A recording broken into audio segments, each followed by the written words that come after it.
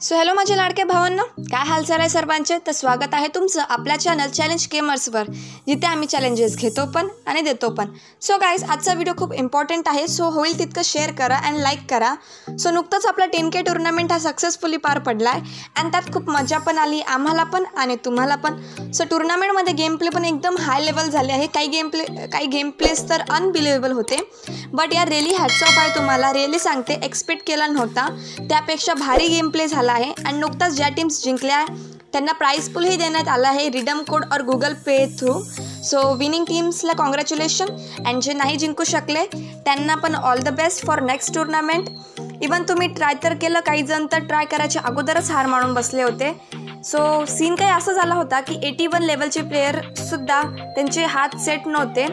Legend प्लेयर्सचे हातही set होत नव्हते. हे आम्ही नाही त्यांचं ओन एक्सपिरियन्सने त्यांनी आम्हाला सांगितलं.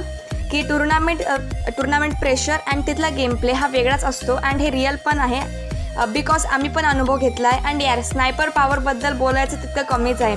काय स्नायपिंग चालू होती? एकदम जबरदस्त. सो यार रिअली अमेझिंग टुर्नामेंट होता. मग आता तुम्ही कमेंट सेक्शनमध्ये तुमचं ओन ओपिनियन देऊ शकतात.